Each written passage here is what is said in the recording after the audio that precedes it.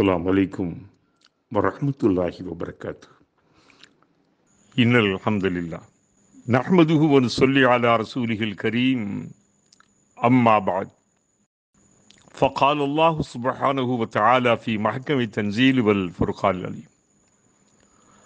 لن ينال الله لحومها ولا دماؤها ولكن يناله التقوى منكم. صدق الله العظيم. விண்ணும் மண்ணும் விரிகதிர் மதியும். விண்ணும் மண்ணும் விரிகதிர் மதியும் கண்படும் அனைத்தும் கண்படா அனைத்தும். கவினுறப் படைத்தாளுகின்ற எல்லாவல்ல ஏக இறைவன் அல்லாவுக்கே புகழெல்லாம். அகிலத்தின் அருட்கொடை அழகிய முன்மாதிரி வழிகாட்டுகின்ற மணிவிளக்கு. நம் உயிருக்கு மெனிய உத்தமர்.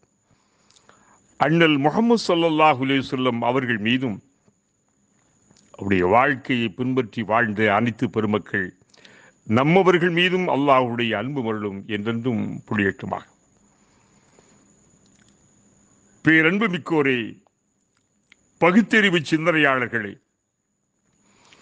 உலகின் ஒப்பற்ற இறைவன் ஒரே ஒருவன்தான் அவனே இப்பிரபஞ்சத்தையும் பல்லுயிர்களையும் படைத்தாலும் எல்லாவல்ல இறைவன் அல்லாஹ். பெற்றோர் மனைவி மக்கள் இல்லாதவன். எவரிடத்தும் எந்த தேவையும் இல்லாதவன். காணுதற்கு அரியவன். எவருக்கும் தன்னை வெளிப்படுத்தி காட்டாதவன். ஒப்பாரும் மிக்காரும் இல்லாதவன். பிறவாதவன் இரவாதவன் நித்திய ஜீவன்.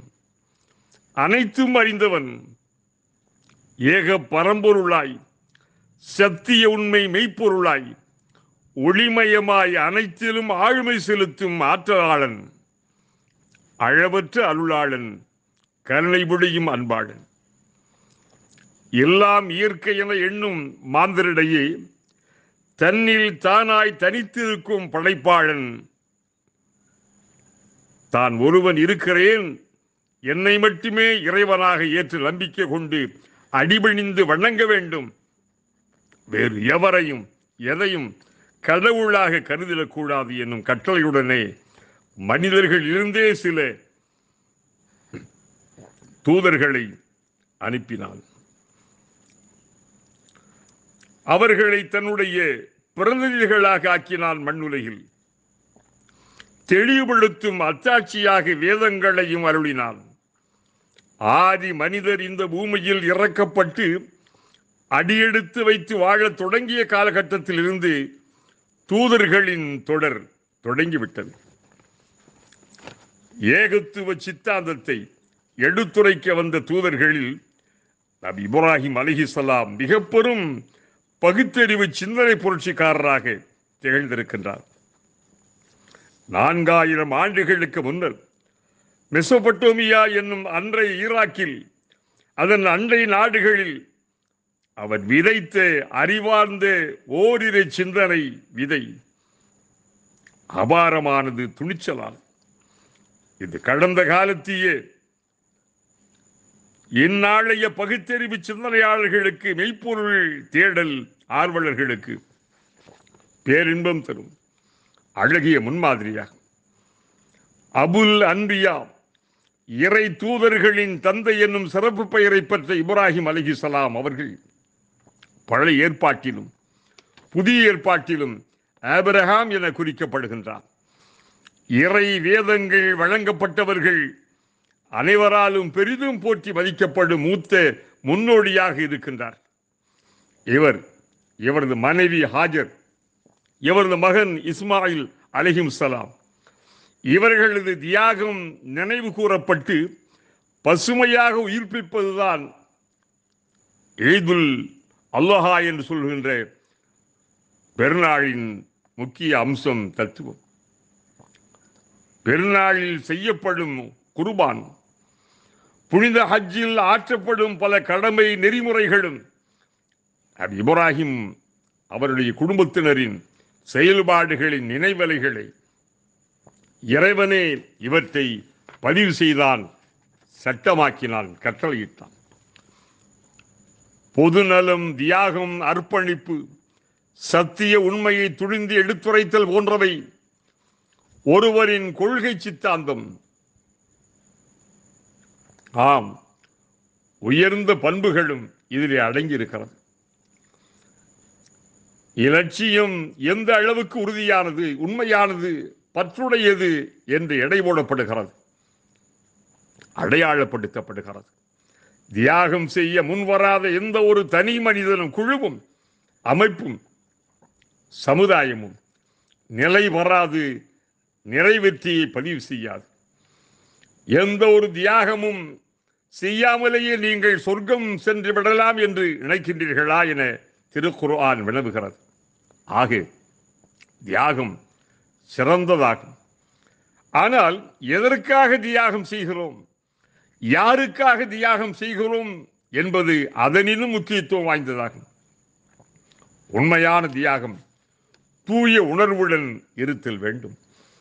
எல்லா வல்ல ஏக நாயனின் கட்டளைக்கு அடிமணிவதாக அவனது அன்பு அருள் திருப்தி திருப்பொருத்தத்தை பெறுவதாக இருக்க வேண்டும். மனிதர்களின் நன்மைக்காக இருக்க வேண்டும். இப்படி அனைத்து அம்சங்களிலும் அர்ப்பணிப்பு முத்திரை பதித்த தியாக சுடர் இயற்றிய பெரும் சீலர்தான் நபி இப்ராஹிம் அலிஹிஸ்லாம் அவர்கள். இறைவன் அவரை பல நிலைகளில் சோதித்தான். அத்தனை சோதனைகளிலும் வென்று நின்றார்கள் அந்த பெருமகன். அனைத்தையும் நிறைவு செய்தார்கள். இளமையில் வாலிபராய் வளர்ந்த போதே சோதனை தொடங்கியது. அறியாமை மூட நம்பிக்கை பாரம்பரிய பழமையில் ஊறி கிடந்த அவரது தந்தை ஆசரால் தனது விபரீத விசித்திர கற்பனையால் பல வடிவங்களில் செய்யப்பட்ட பொம்மைகளை சிலைகளை பதுமைகளை அவற்றுக்கு தெய்வீக சாயம் பூசி விற்று வருமாறு தன் மகனிடம் சொன்னபோது சோதனை ஆரம்பமானது. இவை எப்படி தெய்வமாகும்? இறைவனை பார்த்திருக்கின்றீரா? உன் முன்னோரில் எவராவது பார்த்திருக்கின்றனரா? போன்ற அறிவார்ந்த வினாக்களை அடுக்கடுக்காய் அவர் தொடுத்த போது பதிலேதும் கூற முடியா? பாசாங்கு தந்தை அதிர்ந்தார். குலத்தை கெடுக்க பிறந்தவனே தெய்வ குற்றத்திற்கு ஆளாகி போனவரே இப்போது என் வீட்டை விட்டு வெளியேறிவிடு. இல்லையேல் உன்னை கல்லால் எரிந்தே கொன்றிடுவேன் என கொதித்தெழுந்தார் அந்த பழமைவாதி அறியாமை தந்தை இறைமறை குர்ஆன் இவற்றை தெளிவுடன் எடுத்து காட்டுகின்றது. எல்லா வல்ல இறைவனே மகா சக்தியாளன் மற்ற எந்த பதுமைக்கும் சிலைகளுக்கும் எவ்வித சக்தியும் இல்லை என்பதை துணிவுடன் நிரூபித்து அந்த மக்களை சிந்திக்க வைக்க முனைந்தார் அந்த பெருந்தகை. எந்த பயனும் விளையவில்லை. அன்றைய ஈராக்கை நம்முருது என்னும் நாசகார மன்னன் கொடுங்கோல் ஆட்சி செய்து வந்தான். தன்னை ஆண்டவன் என்றே இறைவன் என்றே கடவுள் என்றே அகந்தையுடன் கூறிக்கொண்டான். என்னதான் ஆட்சி அதிகாரம் அறிவு செய்வம். அனைத்தும் பெற்று திகழ்ந்தாலும் மனிதன் ஒருபோதும் தெய்வமாகிவிட முடியாது என்ற யதார்த்த உண்மையை உணர முடியா அறிவியனராக அந்த அரசன் இருந்தான். பெரும் நெருப்பு வளர்த்து இப்ராஹிமை அதில் தூக்கி எறியுமாறு பணித்தால் செய்தான். ஓரிரை சத்திய உண்மை சித்த அந்த பேரொழியை எந்த நெருப்பாலும் கரிக்க முடியவில்லை. எல்லா வல்ல இறைவன் அவரை பாதுகாத்தான். சிந்தனையற்ற மர மண்டைகளாய் இருள்வடிந்த திருந்தா இதயத்திரராய் பாமர பக்திமாயில் சுகம் காணும் பகுத்தறிவற்றோரின் கூடாரத்தில் இனியும் இருத்தல் முறையாகாது எனும் எண்ணத்தோடு இறை தூதராக்கப்பட்ட அவர் இறை கட்டளைப்படி ஆங்கிருந்து புறப்பட்டு ஏக இறை நெறி அழைப்பு பணி ஆற்றும் இலட்சியத்துடன் எகிப்து சிரியா பலஸ்தீனம் சென்றார். எண்பது வயதுக்கு மேலாகியும் அவருக்கு மக்கள் செல்வம் கிட்டாதிருந்தது. ஓரிரை கொள்கையின் உன்னத பிரச்சாரம் தனக்கு பிறகும் செய்யப்பட வேண்டும் எனும் உயர் நோக்கத்தின் அடிப்படையில் பண்பு நிறை மகன் வேண்டும் என இறைவனிடம் உறுதியுடன் பிரார்த்தித்தார். ரப்பி ஹபிலி மினசாலிஹின் ஹாஜிர் என்னும் மனைவியின் மூலம் இறைவன் தந்தான். இஸ்மாயில் என்னும் எழில் பெயர் சூட்டப்பட்டது. மீண்டும் சோதனை. மனைவியையும் குழந்தையையும் மக்காவின் பாலை நிலத்தில் அந்த பாரான் பள்ளத்தாக்கில் குடியமர்த்தி வைத்துவிடும். இறை கட்டளை பறந்தது. தாயும் மகனும் தனியே இருந்து தவித்த வேளையில் ஜம்சம் எனும் அதிசய நீரூற்றை இறைவனே சுரக்கச் செய்து அருளினான்.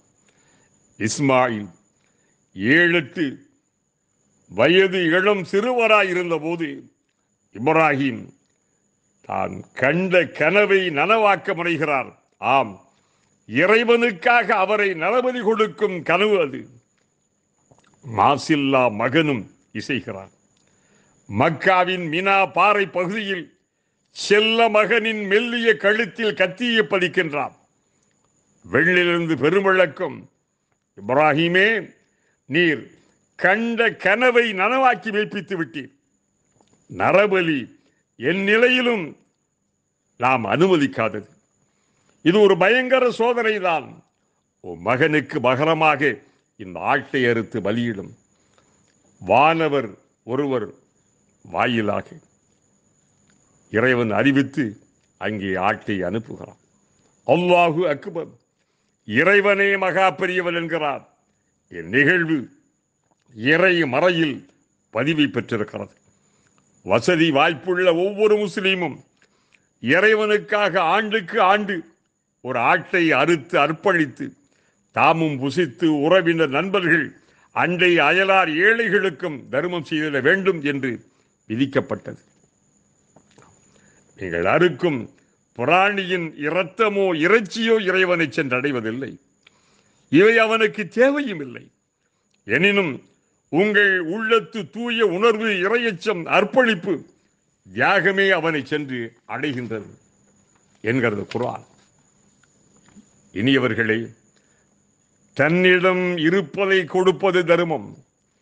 தன்னிடம் இருப்பதை கொடுப்பது தர்மம். தனக்குரியதை கொடுப்பது தயாளம். தனக்குரியதை கொடுப்பது தயாளம். தன்னையே கொடுப்பதுதான் தியாகம். இதில் எல்லாரிலும் விஞ்சி நிற்கின்றார் நபி இப்ராஹிம் அலிஹிஸ்லாமும் இஸ்மாயில் அலிஹிஸ்லாம் ஹாஜரும். இறைவனே வெயிந்து போற்று வண்ணம். நபி இப்ராஹிமின் தியாகம் அமைந்திருக்கின்றது. எனது வணக்கமும் தியாகமும் எனது வாழ்வும் மரணமும் அகிலங்களை படைத்தாள் உண்மையான ஒப்பற்ற உரை இறைவனாம் அல்லாஹுக்கே அல்லாஹுக்கே என்று வாழ்ந்தவர்கள் அவர்கள். உலக முஸ்லீம்கள் என்று குர்பானி செய்கின்றனர். இறைவா இந்த ஆடு என்ன மாடு என்ன என்னையே தியாகம் செய்வேன் எனும் உணர்வினை பெறுகின்றனர். உலகில் தோன்றிய ஒவ்வொரு சமூகத்தினருக்கும் இறைவனுக்காக பிராணிகளை பலி கொடுத்தல் விதிக்கப்பட்ட ஒன்று என்கிறது குர்ஆன். மனிதநேய பண்புகளுடன் செயல்பட்டு ஏழை எளியோர் எல்லாருக்கும் பகிர்ந்தளிக்கப்படுகின்றது அந்த குர்பானி பிராணியின் இறைச்சி. வியாக திருநாள் லட்சிய பெருநாள் அருமையாய் அனுசரிக்கப்படுகிறது. உணர்வுகள் எல்லா வகையிலுமே அது உன்னதமாக இருக்கிறது. ஆம். தியாக திருநாளின் தீநெறி தத்துவம் இத்திருவசனத்திலே வெளிப்படுகிறது. இது ஒரு தெளிவான சித்தாந்தம். மனிதரின் உணவு தேவை இன்னப்புற தேவைக்காக உலகளாவிய அளவிலே ஒவ்வொரு நாளும் லட்சக்கணக்கான ஏன் கோடிக்கணக்கான ஆடுகள் மாடுகள் ஒட்டகங்கள் கோழிகள் குருவிகள் காடை கௌதாரிகள் வாத்து கொக்கு என அறுக்கப்படுகின்றன அடிக்கப்படுகின்றன வெட்டப்படுகின்றன. சர்வபட்சியான பெரும்பாலான மனிதரின் உணவில் இவை பிரதான இடத்தை பிடித்து சிறுவர் சிறுமிகளாலும் விரும்பி உண்ணப்பட்டு செழுமையான ஊட்டச்சத்துக்களை தருகின்றன. இவற்றை அறவே உண்ணாதோரும் உடன் உண்ணுவோர் உண்ணாதாரையும். உண்ணாதோர் உண்ணுவோரையோ குறை கூறி குற்றம் சொல்லிக் கொண்டிருத்தல் அனாவசியமே கால விரையமை. இறை கட்டளைக்கு ஏற்ப குருபானி செய்யப்படுகிறது. உலகையும் உயிர்களையும் படைத்தவன் இறைவன். பெற்ற தாயினும் பன்மடங்கு பரிவும் பாசமும் நிறைந்தவன். அடியார்களுக்கு அருள் புரிவதை தன் மீது கடமையாக்கி கொண்டவன். பெருநாளின் போது உம் இறைவனை தொழுது அவனது திருப்பொருத்தத்தை பெறுவதற்காக குர்பானி செய்வீராக. அல் குர்ஆன் நூற்று எட்டாவது அத்தியாயம் இரண்டாவது வசனம். ஏக இறைவனின் கட்டளையை ஏற்றே இஸ்லாமிய பெருமக்கள்.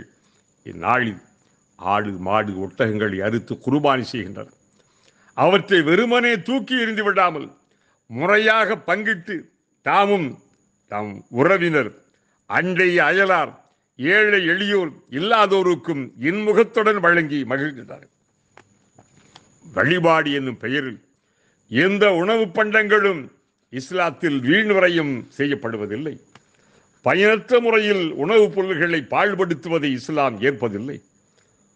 ஒரு பாதி பேரித்தம்பழமும் ஒருவருக்கு தர்மமாக கொடுக்கப்பட முடியும். சிறிதளவுதானே என அதை சாதாரணமாக ஒதுக்கி எரிந்து விட வேண்டாம். அந்த சிறிதளவு தர்மம் கூட ஒருவரை நரகிலிருந்து தப்புவதற்கு காரணமாக அமையலாம் என நபிகளால் நவீந்த கருத்தமைந்த புன்வழிகள் இடம்பெற்றிருக்கிறார். ஏக இறை சித்தாந்தமே ஹஜ்ஜு பெருநாளின் கருவாக அமைந்திருக்கின்றது. பிரபஞ்சத்தின் மூல முதற் பொருளாக ஏக பரம்பொருளாக என்றும் ஒளிரும் மெய்ப்பொருளாக ஒரே இறைவனை இருக்கின்றான். அவன் எல்லா வல்லமை நிறைந்தவன். அகிலங்களின் அதிபதி. அவனது கட்டளைக்கு மனிதர் அனைவரும் அடிபடிய வேண்டும் என்ற சத்திய தத்துவத்தை தியாக பெருநாள் நனிவூட்டுகின்றது அது கடவுள் இது கடவுள் அவர் தெய்வம் இவர் தெய்வம் என ஆளுக்கு ஒரு தெய்வம் நாளுக்கு ஒரு கடவுள் என்ற எண்ணங்களை அகற்றி எல்லாருக்கும் இறைவன் ஒருவனே. அந்த ஒருவனே தேவன். இந்த சத்திய உண்மையை உணர்த்தி நிற்கும் உன்னத பெருநாள் இதுவா. பன்னெடும் காலத்திய தீர்க்கதரிசிகளும் சித்தர்களும் ஆன்மீக ஞானிகளும் பகுத்தறிவு சிந்தனையாளர்களும் பாரதியும் பெரியாரும் ஓரிரை கடவுள் கொள்கையே உண்மை நெறியாக கண்டனர் வேண்டாம் நான்காயிரம் ஆண்டுகளுக்கு முன்னர் தோன்றிய நபி இப்ராஹிம் அலை இந்த சத்திய உண்மையை நிரூபிக்கும் போராட்டத்தில் பொய்மை பொம்மைகளை எல்லாம் துணிவுடன் அகற்றினார் அதற்காக கிடைத்த பயங்கர பெரும் நெருப்பு தண்டனையும் அந்த ஈராக்கில் பரிசாக ஏற்றார் இறை உதவியை தவிர வேறவரின் உதவியும் அவர் வானவரின் தலைவரான ஜிபிலாக இருந்த போதும் அவரது உதவியும் வேண்டாம். அல்லாகவே எனக்கு போதும். ஹஸ்புன் அல்லாஹு அமல் வக்கீல். அவரிடமே நான் முழுமையாக ஆதரவிக்கின்றேன் என நெருக்கடியான தருணத்திலும் இறை வேட்டல் புரிந்த ஈமானி இதயத்திற்கு சொந்தக்காரர் இப்ராஹிம் அலிசலாம் நீண்ட நெடுங்காலத்திற்கு பிறகு தளர்ந்த தம் வயதில் தனக்கு கிடைத்த பிள்ளையை அறுக்க யாருக்கு மனம் வரும்? அதுவும் கனவில் கண்ட ஒரு காட்சிக்காக.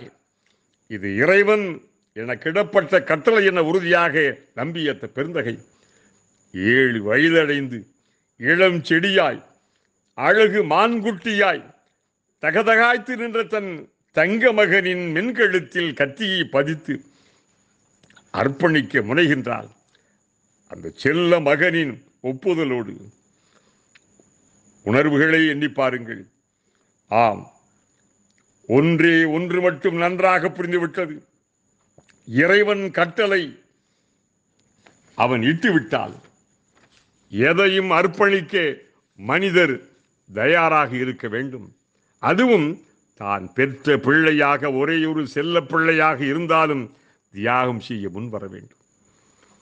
ஆடொன்றை அனுப்பியதை அறுத்து பலியிடுமாறு கட்டளையிட்டு அறுபடவிருந்த இளம் செல்வர் இஸ்மாயிலை இறைவனை காப்பாற்றி ஒரு பெரும் சோதனையை என அறிவித்து இறைவன் பெயரால் நரபலி செய்தல் அறவே கூடாது என உலகிற்கு உணர்த்தினால் அந்த எல்லாவல்ல ஏகிறேன் ஆதி மனிதர் ஆதம் அலைஹிஸ்ஸலாம் அவர்களுடைய காலம் முதல் குருபானி செய்தல் இருந்து வந்தபோதும் இறை தூதர் இப்ராஹிம் அலைஹிஸ்ஸலாம் அவர்கள் இந்த உன்னத தியாக நிகழ்ச்சிக்கு பின்னரே இது மிகுந்த முக்கியத்துவத்தை பெற்றுள்ளீர்கள் ஹஜ்ஜி பெருநாள். உலகெங்கிலும் இருந்து சென்றுள்ள லட்சக்கணக்கான ஹாஜிகள் தம் கடமைகளை முடித்து மினாவிலே குர்பானி செய்யும் தியாக பொன்னாள். மனித சமுதாயம் ஒன்றுதான். நாடு இனம் மொழி நிறத்தால் மாறுபட்டிருந்தாலும் மனிதர்கள் யாவரும் சகோதரர்களே. அனைவரும் ஆதம் ஹவ்வாவின் பிள்ளைகளே. வாழ்ந்தோரும் வாழ்வோரும். இனி வரப்போகின்றவர்களும் அவர்களிருந்து தோன்றியவர்களே. எல்லாருக்கும் இறைவன் ஒருவனே.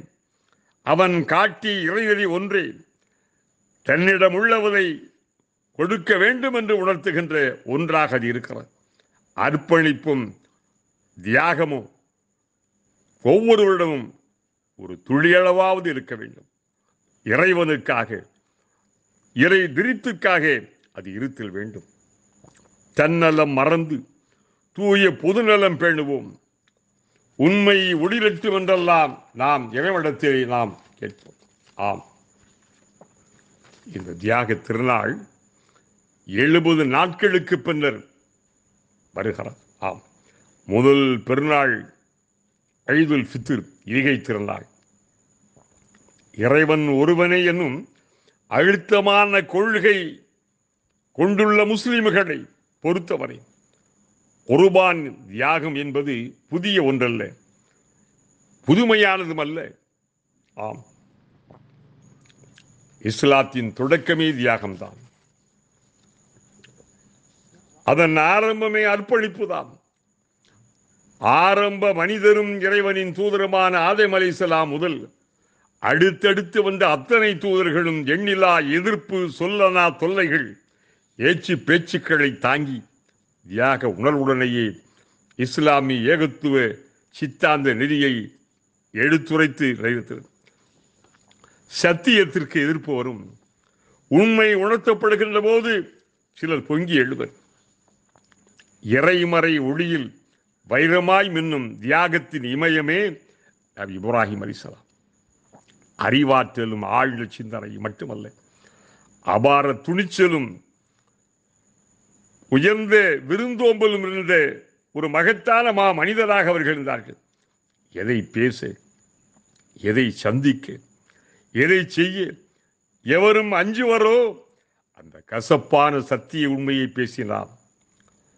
மா மன்னரையும் தந்தையையும் அறியாமை மூட நம்பிக்கை கொண்ட நாட்டு மக்களையும் நேருக்கு நேர் என்று சந்தித்தார். ஆம் இறைவன் ஒருவன் கடவுள் ஒருவன் கண்ட கண்டவைகளெல்லாம் கடவுளாகிவிட முடியாது என்பதை உணர்த்தினார். பொம்மைகளுக்கு உயிர்ப்போ இயக்கமோ எந்த சக்தி இல்லை என்பதை எல்லாரும் அறியும் வண்ணம் நிதர்சனமாய் செய்து காண்பித்தார். ஆம் அந்த ஆண் சிங்கம் சிலித்து நின்றான். தந்தையின் மிரட்டல் மன்னனின் அச்சுறுத்தல் மக்களின் ஏச்சு பேச்சுக்கள் எது குறித்தும் அவர் கவலைப்படவே இல்லை. பெருநெருப்பை பார்த்தும் அவர் பயப்படவில்லை. ஏனெனில் தான் சரியான சத்திய உண்மை நேர்மை கொள்கையில் இருக்கின்றேன் என உறுதியாய் நம்பினார். ஆம் லட்சியவாதிகள் தூற்றல் குறை கூறல் போற்றல் எதையும் செவியில் போட்டுக்கொள்ள மாட்டார்கள். அடைய வேண்டிய இலக்கே அவர்களின் குறிக்கோளாக இருக்கும். எந்த நெருக்கடியிலும் இறைவனை அவர் மறந்துவிடவில்லை. எல்லா தருணங்களிலும் இறைவனையே நம்பினார்கள். அவனிடமே உதவி தேடினார்கள். அல்லாஹுவாகி இறைவன் ஒருவனே எனக்கு போதும். மிக்க மேலான பாதுகாவலன் அவனே என நெஞ்சும் நெக்குருக நெக்குருக கூறி பெருமிதப்பட்டார்கள் இன்று இறைவனுக்காக முஸ்லிம்கள் செய்யும் குர்பானி இந்த பெருமகனார் செய்த விட்டு சென்ற தியாக நினைவின் ஒரு துளிதான். அவருடைய சுண்ணத்து தான் முஸ்லீம் என்றாலே இறைவனது கட்டளைக்கு அடிபணிபவன் என்பது பொருளாகும். எல்லா நிலையிலும் ஏக இறைவனுக்கு கட்டுப்பட வேண்டும். அது இப்ராஹிம் அலி இஸ்லாம் அனைவருக்குமான அழகிய முன்மாதிரி. ஆம். அவரது வாழ்வில் இருந்து அரிய பாடங்கள் படிக்க கிடைக்கிறது குர்பானி என்றால் என்ன என்று அண்ணல் நபிகளாரிடம் விளக்கம் கேட்ட தோழருக்கு அது உங்கள் தந்தை இப்ராஹிமின் வழிமுறை என விடை தந்தார் நபிகளார். இஸ்லாமிய சமுதாயத்தின் மூத்த முதல் முன்னோடியாக இப்ராஹிம் அலி இஸ்லாம் திகழ்கிறார்கள். ஆம். என் இனியவர்களே ஆடு மாடு குருபானி கொடுப்பதோடு நமது தியாகம் முடிந்து விடவில்லை நாம் இப்படி நினைத்து விடக்கூடாது. இது தியாகத்தின் ஒரு சிறு அடையாளம்தான். தியாகம் இத்தோடு முடிவடைவதில்லை. அர்ப்பணிப்பு முற்று பெறுவதில்லை இன்னும் நாம் நமது சமூகத்திற்கு நாட்டிற்கு மனித இனத்திற்கு ஏராளமான தியாகம் செய்ய வேண்டியிருக்கின்றது. இக்காலத்தில் நாம் செய்ய வேண்டிய தியாகங்களில் மிக பெரும் தியாகம் நாம் விழப்பூர்வமாய் ஒற்றுமையாய் இருப்பதுதான். ஒன்றாக அமர்வதால் மட்டும் ஒற்றுமை வந்துவிடாது ஒன்றாக அமர்வதால் மட்டும் ஒற்றுமை வந்துவிடாது அது ஒற்றுமையாகவும் கருதப்படாது. உள்ளங்கள் ஒன்றுபடாதவரை ஒற்றுமை என்பது சாத்தியமே அல்ல. பொறாமை ஆத்திரம் தவறான எண்ணம் வஞ்சம் புறம் பேராசை போன்ற மனக்கசடுகளை அகற்றி நல்லெண்ணம் சமூக அக்கறை விட்டுக் கொடுத்தல் மார்க்க பற்று பெருந்தன்மை கலந்துரையாடல் போன்ற உயர் பண்புகள் உள்ளத்தில் வந்துவிட வேண்டும். நாம் யாராக இருந்தாலும் முஸ்லீம்கள். மனிதர்கள் என்னும் பொதுமை நோக்கு நம்மில் முகிழ்த்திட வேண்டும்.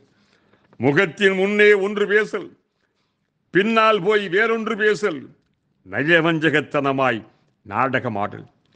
காட்டி கொடுத்தல் கீழிருப்பு செய்தல் போன்றவைகளெல்லாம் ஒரு முஸ்லீமிடம் இருக்கக்கூடாத தீய குணங்களாகும். இன்று எல்லா நிலையிலும் இந்த சமூகத்தை அரித்து சிதைக்கும் கரையான்களாக இவைகள் இருந்து உலக முஸ்லிம்களிடையே பற்பல பிரிவுகளையும் பெரும்பெரும் பிளவுகளையும் தோத்துவிட்டு கொண்டிருக்கிறது. ஆம் ஒன்றுபடுத்த வேண்டும்.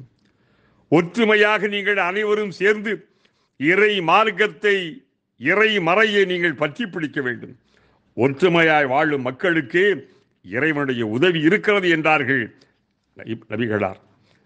ஒற்றுமையாய் இருந்தார் நமது சமுதாயத்திற்கும் சந்ததிகளுக்கும் மனித குலத்திற்கும் ஏராளமாய் சாதிக்கலாம்.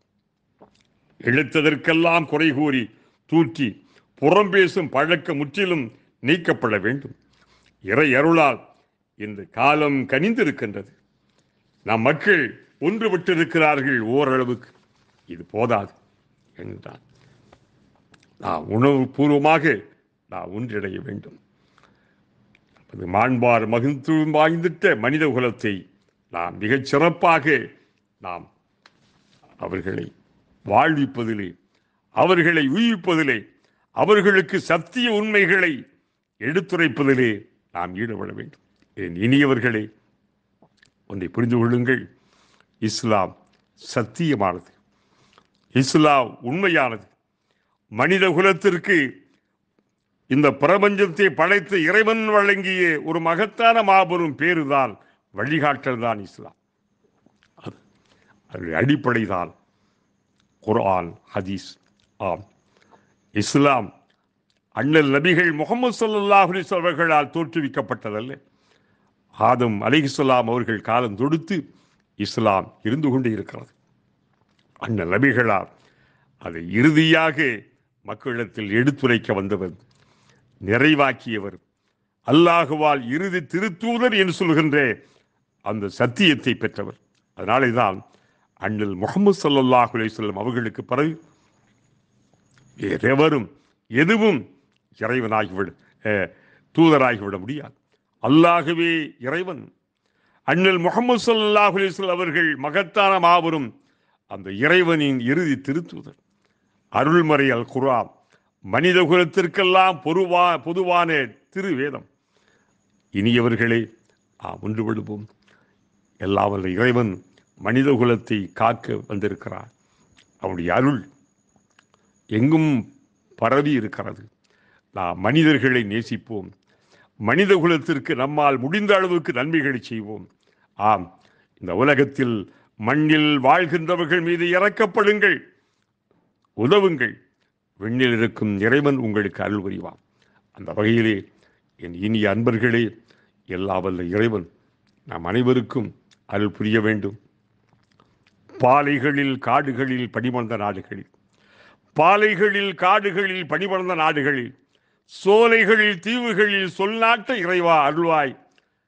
அன்பு நெஞ்சங்களே எனக்காக துவா செய்யுங்கள். அஸ்லாம் அலைக்கும் வரமத்துல்லாஹி வபரகாத்து. Allahu